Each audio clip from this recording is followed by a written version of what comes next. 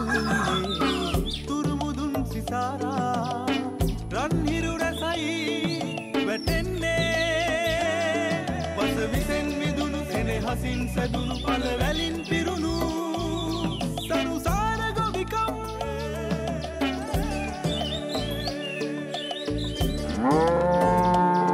ගම් දොරින් දොරට පරපුරෙන් පුරට වස විසෙන් මිදුණු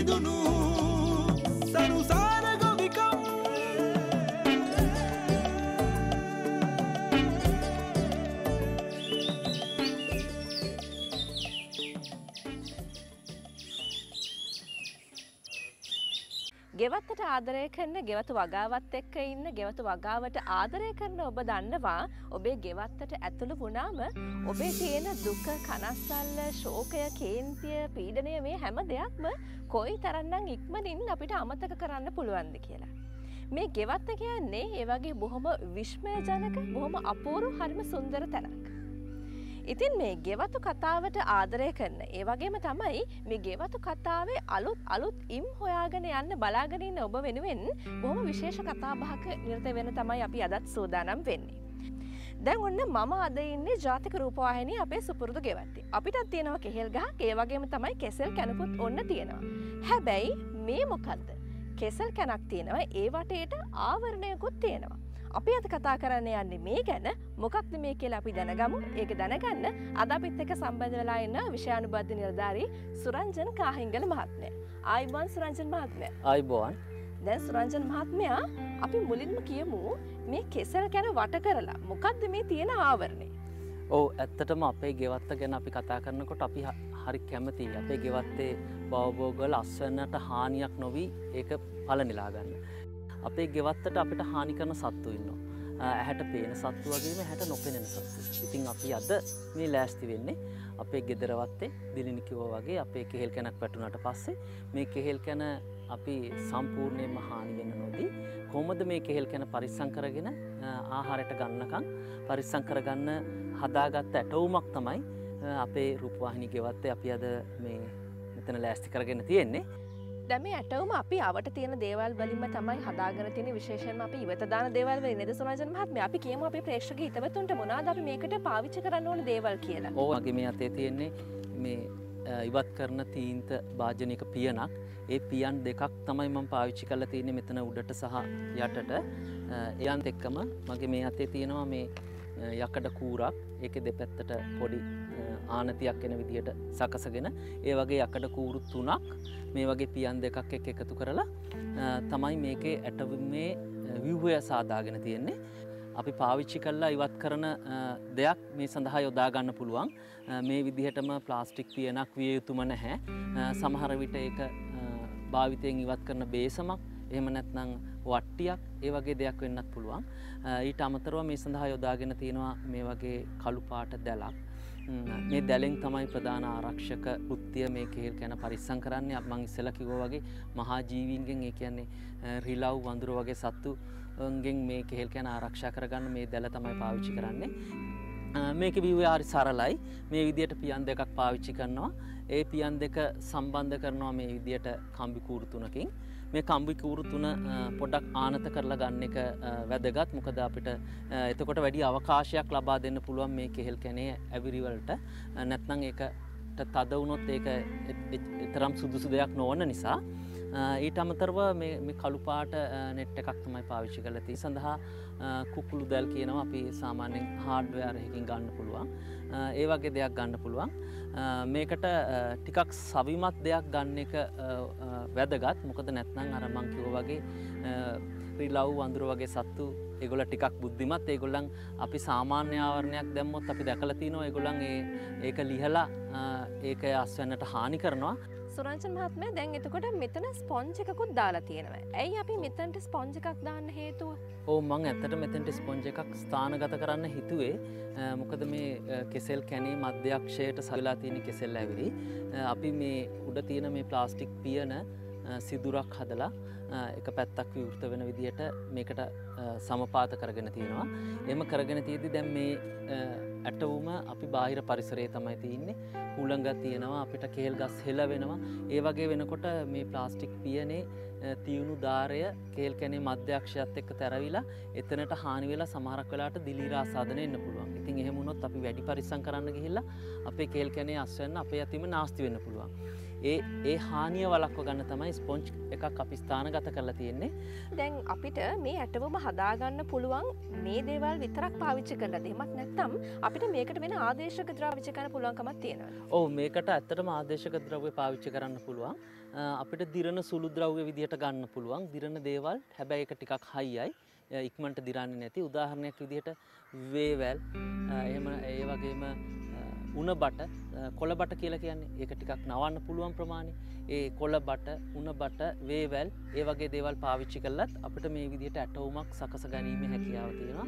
ඉතින් ඒක තවදුරටත් අ, පරිසරයට අපි අ, හිතකාමී ඒ වගේ දෙයක් පාවිච්චි කරන එක. එතකොට දැන් කෙසල් කැනක් ආවට පස්සේ මේ කෙසල් කැන ඇවිල්ල කොයි තරම් කාඩ ගියාට පසද මේ ඇටවුමක් අපි දානක සුදුසු වෙන. අපි දන්න කෙහෙල් කැනක් වැටුනට පස්සේ කෙල් කැනක් ආවට පස්සේ අපි එක ඇවිරි බේරෙනවා කියලා තිනවා කෙහෙල් ඇවිරි ටික ඔක්කෝම එලියට විවෘත වෙනවා. විවෘත වෙලා ඒකෙන් පල්ලෙහාටත් හැදෙනවා දණ්ඩ. මේ මධ්‍යක්ෂේම පල්ලෙහා කොටස. හැදිලා ඒ- ඒක අඟල් හයක් විතර හැදුනට පස්සේ තමයි අපි ඒක කපලා අයින් කරලා මේ ඇටවුම මේ කෙහෙල් කැනට සූදානම් කරගන්නේ. අනිත් එක ඉතාමත්ම කුඩා කාලෙදී අපේ අර මංසල කිව්ව මහාජීවින්ගෙන් වෙන හානිය ටිකක් අඩුයි මේක ටිකක් මෝරන්න ඕන. අ, එතකොට අ, ගොඩක් මෝරන්න කලින් අර විදිහට කෙහෙල් කැනේ ඇවිරිලි ඇවිරි බේරිලා ඉවරුණු වහාම අපිට මේ ඇටවුම අපේ කෙහෙල් කැනට සම්බන්ධ කරන්න පුළුවන්. සුරංසන් මහත්මය දැන් මේ කෙසල් කැන දැනට ටිකක් පොඩි. හැබැ මේ කෙසකන් ටික් වර්ධනය වෙන්න පුළුවන්. එහෙ මුණොත් මේ ඇටවම මේකට මදි වෙනවනේ දෙකට මොක්කර අපිට විසඳමක් පිළියමක් හෙම තියෙනවද? ඕ ඇත්තටම මේ කෙසෙල් කැනේ සක්‍රීය වර්ධන කාලය දැන් ඇත්තර මෙයාගේ අ, සම්පූර්ණ කරලා තියන්නේ. ගොඩාක් ලොකු වෙන්නේ නැහැ. ටිකක් ලොකු වුණත් අපි මේකට ඉඩහසර දීලා තියෙනවා. මේ තව අවකාශය මෙයට තව ලොකු වෙන්න කිසි බාධාවක් තොරව. මොකද අපි කෙසෙල්කන්ට කිට්ටු කරලම නෙමේ මේ ඇටෝ මේ දැල සවි කරලා තියන්නේ ඉතින් අපි කෙසෙල් කැනට නිදහසේ වැඩෙන්න තවදුරටත් අවකාශ දීලා තියෙනවා සමහරක් වෙලාවට දිලිනී මතු කරපු ප්‍රශ්නයත් එක්කම අ, අපිට එන්න පුළුවන් දැන් මේ ඇටවුම අ, මේ සයිස්ම කෙසෙල්කැන් නෙමේ අපේ ගෙව තුළ අපි දකිනෝ ටිකක් ලොකු කෙසෙල්කැන් තියෙනවා. ඒ වගේ අවස්ථාවක මේ කම්බියේ දිග වැඩි කරගන්න පුළුවන්. ඒත් එක්කම දැන් අපි මේ පාවිච්චි කරපු ඇටවුමත් අපිට පුළුවන් ඕන්නම් මේ තියෙන පතුලේ තියෙන ප්ලේට් එක පතුලේ තියෙන තහඩුව පල්ලෙහාට කරලා මේකේ අ, අවකාශයේ තියෙන උස වැඩි කරගන්න. එතකොට කෙසෙල් කැනේ ප්‍රමාණය මත ඇටවුම සකසා ගැනීමේ හැකියාව අපිට තියෙනවා. ඒක ඉතින් ගෙවත්තේ අපි දන්නවා සාමාන්‍යයෙන් කෙහෙල් කැනක උපරිම වර්ධක ප්‍රමාණය ගැන සලකල බලලා මේ ඇටවුම සකසා ගැනීම ඉතාමත්ම වැදගත්. එතකොට මේ ඇටවුමෙන් අපිට ගන්න තියෙන ප්‍රයෝජනය එච්චරද තවත් මොනහර අපිට වාසයහෙම තියෙනවද මේකේ ඕ මේ ඇටවුම අපේ ප්‍රධාන පරමාර්ථය තමයි සත්තුන්ගෙන් අපේ අස්සන්න ආරක්ෂා කරගන්න එක. මේ ඇටුවමේ කළුපාට දැලක් සවි කරලා තින්නේ. මේකෙන් ඇත්තටම පොඩි අ, අ, අ, ආවරණයක් එනවා. ආවරණය කියන ඒ වෙන ෂේඩ් එකත් අපි ඒ ආවරණයක් අ, යෙදවා හා සමානයි. ඉතින් එතකොට කෙහෙල් කැනේ ගුණාත්මය සහ අ, කෙහෙල් ගෙඩිවල ප්‍රමාණයේ අ, විශාලත්වයක් අපිට මේ ඇටුවම සකසා ගත්තට පස්සේ සත්තුන්ගෙන් ආරක්ෂා වෙනව වගේම අතිරේක වාසියක් විදිට ලබාගන්න පුළුවන් කියලා සඳහරන්නඩෝ. තින් අද බොහොම කාලින මාතෘකාවක් ගැන වැදගත් මාතෘකාවක් ගැන කතාබහ කරන්න අපිත් එක සම්බන්ධ වනා සුරංජන කාහිගල මහත්මය බොහොම ස්තුතියි ඔබට මේ වගේ වටිනා උපක්‍රමයක් ගැන අපේ ප්‍රේක්ෂක හිතවතුන දැනුවත් කරාට ආයිබෝවන් කියලා සමුදනවා ඔබට. අයිබෝවන්. ඉතින් හිතවතුනේ අපි මේ විදිහට අපේ ගෙවත්තේ තියෙන අස්වැන්න ආරක්ෂා කරගන්නවා වගේම අපේ මේ ලංකාවේ දේශගුණය අනුව අපිට වසරේ ඕනම කාලයක අස්වැන්න පරදාව ලබා ගන්න පුළුවන්. හැබැයි මේ හේතුව නිසා සමහර අවස්ථාවල් වල අපේ එදිනදා ප්‍රයෝජනයට ගන්න පළදාවෙන් තවත් අතිරික්ත කොටසක් ඉතුරු වෙනවා. මේ කොටස සමහරලාට අපි කිසිම ප්‍රයෝජනයක් ගන්නේ නැතුව ගස් යටම වැටිලා නාස්ති වෙලා යන අවස්ථා ඕනෑ තරම් තියෙනවා. බිලින් කියන්නේ අන්න ඒ වගේ සමහර වෙලාවට අපි ප්‍රයෝජනයක් ගන්න නැතිකම නිසා අහක යන පළදාවක්. අන්න ඒ නිසා මේ බිලින් කොහොමද අපේ අනාගතය වෙනුවෙන් ආහාර සුරක්ෂිතතාවය වෙනුවෙන් අපි පාවිච්චි කරන්න කියලා බලමු මේ විරාමෙන් පස්සේ.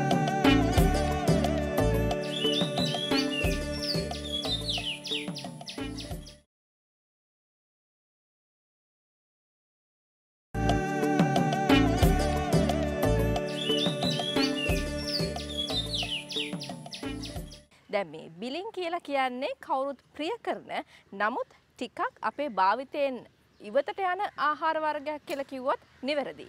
දැන් අද අපේ ජගත් කටුගම්පල මහත්මයා බිලින් වලින් විශේෂ කෑමක් හදන්නයි හදන්නේ බිලින් කල් තියාගන්නත් පුළුවන් ඒ ක්‍රමයට බිලින් චට්නි ගත්තම අපි අද හදන්නේ. මේ බිලින් කියලා කිව්වහම ගොඩක් වෙලාට බිලින් කණ්ඩ අකමැති මේ උෂ්ණ අධිකයි කියලා. අපේ රටේ තියෙනවා මේ කාලීන භෝග වර්ග බිලින් කාලයකට හැදිලා ගස් යට වැටිලා යන අපි පාවිච්චියට නොගන්න තරමට. ඇත්තටම මුල් කාලේ අපේ ආච්චි අම්මලා අපේ අම්මලා එහෙම මේ බිලින් කාලෙට බිලින් මැටි හට්ටියට අහුරනවා. ලුණු තට්ටුවක් බිලින් තට්ටුවක් කොයි විදිහට අහුරලා මේක ගින්දරේ තම්බනවා. තම්බල ඒ ලුණු වලින්ම හිඳෙන්ඩ දීලා ඊට පස්සේ කාලයක් යනකොට මේක කළු පාටට වේලෙන්නේ. ඒ මුට්ටියම වේලෙනවා කළු පාටයි. මේක කාලයක් තියාගන්න පුළුවන්. ඉතින් ඔය දෙහින් නැති වෙලාවකට සම්බෝලයට වගේ මේක තලලා එකතු කරනවා. නිකම් වෑංජන හැටියට ගන්න පුළුවන්. දැන් ඉතින් ගොඩක් වෙලාවට ගෘහණියෝ කතා කරන්නේ කාල වේලාව මදි කියලානේ. ඉතින් මම හදන්න යනවා අද බිලින් රට ඉන්දිය එකතු කරලා රසවත් චට්නියක්. මේක ඇත්තටම ගෘහණියකට ස්වයන් රැකියාවක් හැටියට කරන කෙනෙකුට අමතර ආදායමක් ගණ්ඩ පුළුවන් දෙයක් අපේ මේ විසි කරන බිලින් ගෙඩියෙන්. එහෙනම් අපි කියමු මේ මොනවාද අපිට මේක හදන්න ඕන වෙන්නේ කියලා. සුද්ධ කරගත්ත බිලින් පොඩියට මං කපලා තියෙනවා. ඊළඟට කුරුඳු පොතු කෑල්ල ලුණුකුඩු මිරිස්කුඩු ඇට අයින් කරගත්ත රටයින්දි ඊළඟට සීනි. මේ ටික තමයි අවශ්‍ය වෙන්නේ. අපි මේකෙදි වතුර මුකුත් එකතු කරන්නේ බිලින් ටික රත්තුණු මැටි ඇතිලියකට අපි එකතු කරගන්න මොකද මැටි ඇතිලියක් පාවිච්චි කරන්නේ මේක ඇසිඩ් ගතිය වැඩි නිසා. මැටි අතිරේ කියන්නේ කලින්ම ටිකක් රත් කරලා තියාගන්න. මේක රත් කරලා තියාගන්න මේක මේ වතුර ගතිය හිඳෙන්ඩ තෙත ගතිය නැතිව යන්න. දැන් අපි බිලින් ටික එකතු කරා ටිකකින් අපි සීනි එකතු කරනවා. මේක රෙසපිය වෙන්න එකට භාගයක්. අපිකින් අපි බිලින් කිලෝ එකක් ගත්තොත් සීනි ග්‍රෑම් පන්සීය රට ඉන්දිග්‍රෑම් දෙසිය පණහක් මේක තමයි බේසික් රෙසිපිය එක. දැ මං අරගන තියෙනවා බිලින් ග්‍රෑම් තුන්සීයක් විතර. එතට මට සීනි කොච්චරක් එකතු කරන්න පුළුවන් එකසිය පණහක්. එකසිය පණහක ප්‍රමාණය එකතු කරන්න පුළුවන්. අපි සීනිග්‍රෑම් එකසිය පණහක ප්‍රමාණය එකතු කරනවා. එකතු කරලා මේක පොඩ්ඩ වෙලාවක් අපි වහනවා මොකද බිලින්ටිකේ ටක්ගාල සීනිත් එක වතුරට එනවා වැැහුවට පස්සේ. දැන් මේකට අපි රටයින්දි දානවා කිව්වනේ. හැබැයි කෙනෙකුට රටයින්දි හොයාගන්න බැරි වුණොත් මොකද කරන්නේ? ඒකට ආදේශක දෙයක් තියෙනවද නැත්තම් මොකද කරන්න පුළුවන්. චට්නියක හදන්න පුළුවන් සීනි වලින් විතරක්. එතකොට අපි පොඩ්ඩක් සීනි ප්‍රමාණය පොඩ්ඩක් වැඩි කරගන්න එතකොට අර පියාර සාමාන්‍යයෙන් හදන අඹ චට්නිය ඇඹරැල්ල චට්නි තියෙන්නේ. අන්න ඒ වගේ තමයි බිලින් චට්නියක එන්නේ. දැන් මේ රට ඉන්දිය එකතු කරලා හැදුවාම මේක චට්නියකට වැඩිය ජෑම් එකක් වගේ. මේක ගොඩක් කල් තියාගන්න පුළුවන්. බිස්කට් එකකට උනත් ගාලක අර චට්නි රසට වැඩිය පොඩ්ඩක් පැන් රසක් තියෙනවා. රට ඉන්දි රස- රසත් එක්කලා. දැන් අපේ බිලින් ටික තැම්බිලා ඉවරද? බලමු අපි දාපු බිලින් ටික නෙමේ දැන් තියෙන්නේ නේද. පාට වෙනස් වෙලා හොඳ සුවඳක් එනවා. හිතවතුනි ඔබට සුවඳ දනවන්න බැරි වුණාට මට නම් හොඳ සුවඳක් එනවා ජගත් මහත්මයා. ඔව්. දැන් මේ බිලින් ටික පාට තනිකර වෙනස් වෙලා තියෙන්නේ. ඒ වගේම පොඩි කරගන්න පුළුවන්. අපි මේකට වතුර එකතු කරේ නෑ හැබැයි දැන් තැම්බිලි ඉවරුණාම පොඩි වතුර ගතියක් ඇවිල්ලා තියෙනවා. පොඩියට නෙමේ මේකේ වතුර ගතිය ගොඩක් ඇවිල්ලා තියෙන. ඒ කියන්නේ බිලින් වල තියෙන වතුර ඔක්කොම දැන් එළියට ඇවිල්ලා තියෙන්නේ. දැන් අපේ බිලින් ටික පොඩි කරගන්න පුළුවන් ගානට තැම්බිලා. මේ පොඩි වෙන ගානට තැම්බිලා. අපි බලමු කෑල්ලක් කරන් මේ. හා. බිලින් කෑල්ලක් අරගෙන අපිට මේ හැන්දකින් පොඩි කරලා බලන්න පුළුවන් මේ. රට ඉඳි ටික එකතු කරගන්නවා. දැන් රටින්දි එකතු කරනකොට කොච්චර ප්‍රමාණයක්ද එතකොට අපි දැන් අපි ගත්තේ බිලින් ග්‍රෑම් 300යි සීනි ග්‍රෑම් 150යි එතකොට ඒකෙන් භාගේ රට ඉන්දි ග්‍රෑම් 75ත් 100ත් අතර අපිට එකතු කරගන්න පුළුවන්. රට ඉන්දි ටිකත් හොඳට අපි කලවම් කරගන්න. එක ආරවද තැම්බෙන්ඩ දැන් බිලින් ටිකත් එක්ක රට ඉනි ටිකත් තැම්බෙන්ඩ අපි තම්බ ගන්නවා. අපිට මේකට මේ ඉතුරු රැම් මේ ටිකත් එකතු කරන්න පුළුවන්. තුරු රට ඉදි ටිකත් අපි එකතු කරගන්න රට ඉදි පොඩ්ඩක් වැඩි වුණා කියලා ප්‍රශ්නයක් වෙන්න ඔගලන්ට සීයක් එකසිය පණහක් වගේ ප්‍රමාණයක් එකතු කරගන්න පුළුවන්. රසවත් බව වැඩි වෙනවා රට රටින්දි ඉදිවලින් ඊට පස්ස අපි මේ කායි වහනවා රට ඉදි ටිකත් එක් කළ මේ වතුර ටිකෙන් තැම්බෙන්න්න අපිට කොච්චර වෙලාවක්යෙන් වහලා කොමන් මේ තියෙනවද චඩ්නික හැදෙන්ට විනාඩි විස්සක් විතර කාලයක් යනවා. මේ අපිට බලන්න පුළ මේ වතුර ටික හිදිලා රට ඉදිටික තැම්බිලා තියෙනවා. දැන් මේ වතුර ටික උතුරන්න අපි මේක වහනවා. හරි.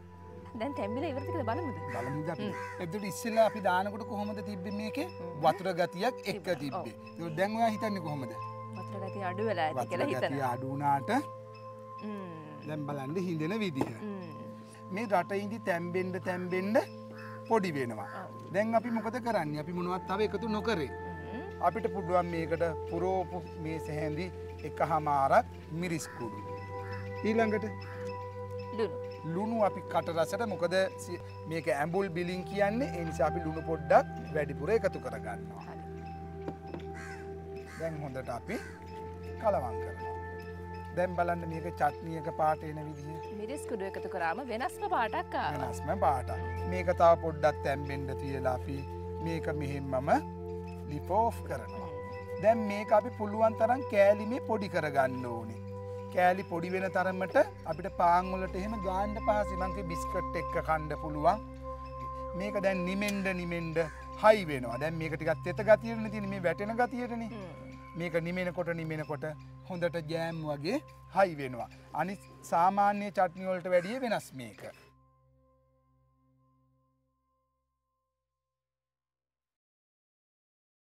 මේක දැන් ඕගලන්ට හොඳට නිමුණට පස්සේ බදුන් ගත කල්ලා තියා ගණ්ඩ පුළුවන්. අපි මේකට කිසිම රසායනික ද්‍රව්‍යයක් එකතු කරේ නෑ බිලිංවල තියෙන ඇසිට් ගතිය ඇති මේක කල් හිටින්ඩ මේක වසර දෙකක් කිසිදු ප්‍රශ්නයක් නැති ඔගලන්ට තියා ගණඩ පුළුවන් හැබැයි ඊට ඉස්සෙල පුස්කණ්ඩ වගේ ආවොත් වෙන්නේ තෙත හැන්දක් එකතු කරොත්. ඔගුල පාවිච්චි කරන හැන්ද වතුර ගතිය තිබුණොත් මේක පුස්කනවා. ඒ නිසා අපි මේක මැටි භාජනයක එම නැත්තම් ප්ලාස්ටික් භාජනයක එම නැත්නම් වීදුරු භාජනයක එකතු කරලා අපිට තියාගන්න පුළුවන් පුරා අවුරුදු දෙකක් කිසිදු දෙයක් වෙන්නේ නැතුව. ඉතින් ජගත් මහත්මයා බොහොම ස්තුතියි අද අපිත් එක්ක සම්බන්ධ වුණාට මේ වගේ රසවත් ආහාරයක් හදන විදිහ අපේ ප්‍රේක්ෂක හිතවතුන්ට කියලා දුන්නට ආයිබෝන් කියලා සමුදෙනවා. ඉතින් ඔබේ ගෙවත්තර තවත් වටිනාකම් එකතු කරගන්න තවත් බොහොමයක් දේවල් තියෙනවා කතා කරන්න. ඔහොමම රැඳිලා ඉන්න. කෙටි විරාමයකින් පස්සේ අපි නැවතත් හමු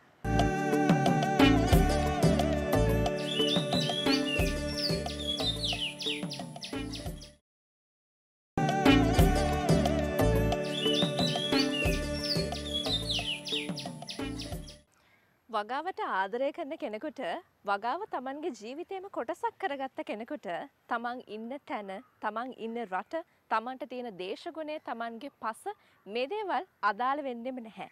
අදාළ වෙන එකම දේ තමන්ට කොයි විදිහටද මේ වගාව සාර්ථක කරගන්න පුළුවන් කියන කාරණාව. දැන් ලංකාවේ ඉන්න අපි අපිට ඉඩකඩ තියෙන විදිහට අපේ ගෙවත්තේ පුළු පුළුවන් විදිහට මොනවා හරි අපි වගා කටයුතු කරගන්නවා. අන්න ඒ වගේම තමයි කැලිෆෝනියාවේ ඉන්න ශ්‍රී ලාංකික පෙරපාසල් ගුරුවරියක්.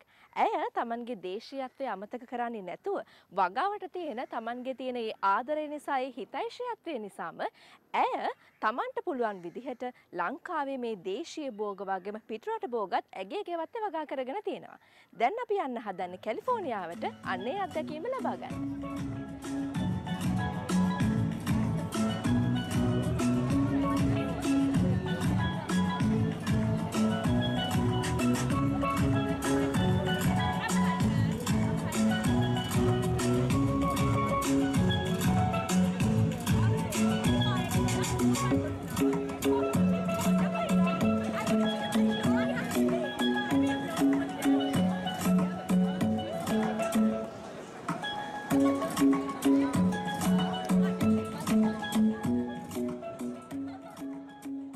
මගේ නම අනෝම රාසපුත්‍ර.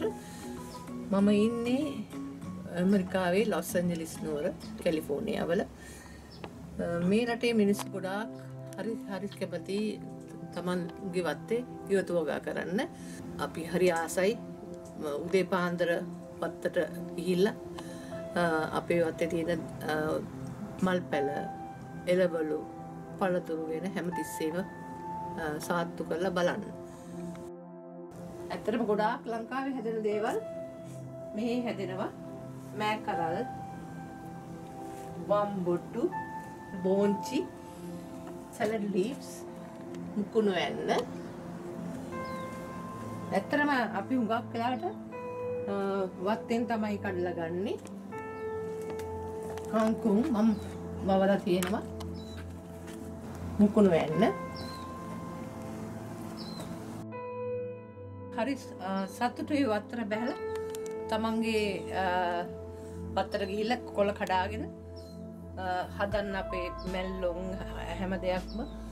හරියට අපි අ, සන්තෝසෙන් ඒ- ඒක කරනවා. ඒ වගේම අපි අ, ව- අවට ඉන්න අපේ සේරම ඉන්න එමරිකන් ජාතිකාය ඒගොලොත් එක්කත් බෙදාගන්න ඒගොලන් ගෙදරත් විශේෂ දෙයක් තියෙනනම් අපි එක බෙදාගන්න ඒමයි මේ රටේ මිනිස්සු. හරියට අපේ ලංකාවෙත් මිනිස්සු වගේ හැමෝම බෙදාහදාගෙන වැඩගන්න කට්ටිය. මේ මගේ ගොටුකොල පාත්තිය මේ මගේ බීටරුට් පාත්තිය ලීක්සුයි ලික්ස් වගේකුත් තියෙන ඇන්න පාත්තිය මට ලැබෙන ලැබෙන හැම අඩියකම මම හිටවනවා එලෝලු පැල එලෝලු මේ ගොටුකොල ඒක හැබැයි පත් මෙබ එක කොල ගොඩක් ලොකුයි. අත්තේ හරියට හාව ඉන්නවා. ඉති ඒගොලොත් ඇල්ල හරියට කනවා මේ අමගේ මේ එලෝලු පැල. ඉතින් ඒගොලොන්ටත් එක්ක තමයි අපි වවන්න. සේර. සැල්දිරි අපි මුළුංග ගස් දෙකක් තියෙනවා. ඉස්සර පැත්තෙත් මුංග ගහක් තියෙනවා. මේ ගෙරට ගෙදර වස්තු පිටි පස්සෙත් මුංග ගහක් තියෙනවා. මුළුංගත් හරි ආසයි ඇමරිකන් ජාතිකයොත් කන්න. ඒගොල්ලෝ හැම තිස්සේම අහලා අහනවා. මුරුංගවල ගොඩාක් අ, හොඳ අ, පෝෂ්‍ය පදාර්ථ තියෙනවා කියලා. ඒගොල්ලෝ හරි කැමති කරපිංචත් ගස් දෙකක් තියෙනවා.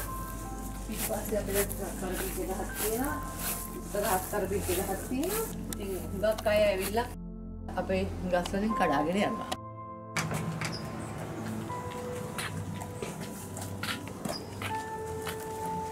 ගෝවපුල්ල මේ මුරුංග මගේගේ ඉස්සරහා තියෙන අනිත් ගහ. මේ අනිත් කරපිංච ගහ.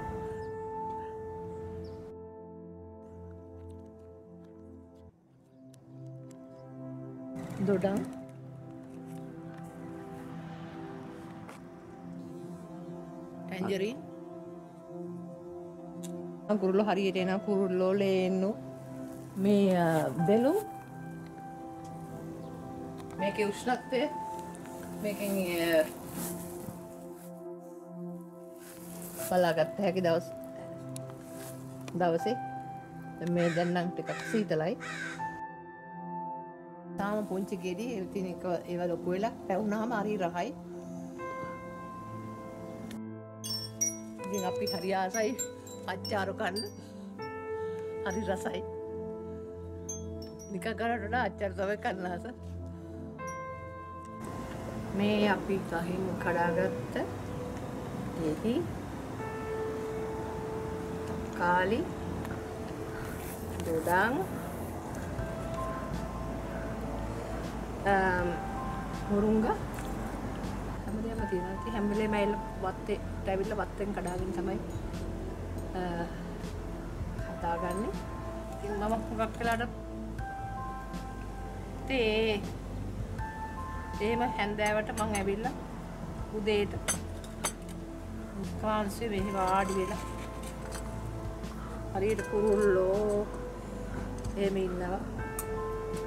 ඉතින් මම තේ ටිකක් දාගෙන හැන්දෑවට උදේට වතුර එහෙම දාලා මල් පැල බලලා එරෝල් පැල බලලා මගින් තේ ටිකුත් පොඩ්ඩක් බීලා ගෙමන් ඉවලා ඉතින් හරියට මේ සතුටු වෙනවා මගේ වත්ත ගැන අපේ සිතට සතුට සැනසීම ළඟා කරන එකම තැන තමයි අපේ නිවසෙන් අඩියක් එළියට තියපු තැන තියෙන අපේ ගෙවත්ත. අපේ සිතට සතුටක් සැනසීමක් මිහිරියාවක් එකතු කරන්නේ අපේ ගෙවත්ත. අපි මේ ඉන්නේ ජාතික රූපවාහිනිය අපේ හුරු පුරුදු ගෙවත්තේ. අපි සූදානම් වෙන්නේ අද රිවිදින අරුණැල්ලෙන් මේ ගෙවත්තෙන් සමුගන්න. හැබැයි අපි අද මෙතනින් සමුගන්නේ අද මේ සුන්දරේරද දවසේ ඔබටත් ඔබේ ගෙවත්තට යන්න කියලා ආරාධනා කළා. ඒ මිහිරියාව ඒ වින්දනය ඔබේ ජීවිතයටත් ළඟා කරගන්න යන්න අදම ඔබේ ගෙවත්තට. එසෙනම් අපි අදට ඔබගෙන් සමුගන්නවා ලබන සතිය හමුවනති ප්‍රාර්ථනා කරනවා ඔබට සුබ දවසක්. ආයිබෝවන්.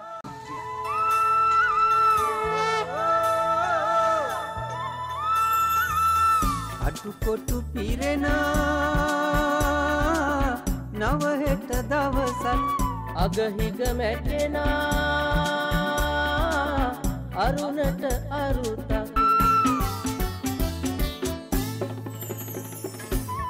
ගෙවතු පුරා පල බරින් පිරෙන්නට හෙටට ණය නොවී ජීවත් වෙන්නට.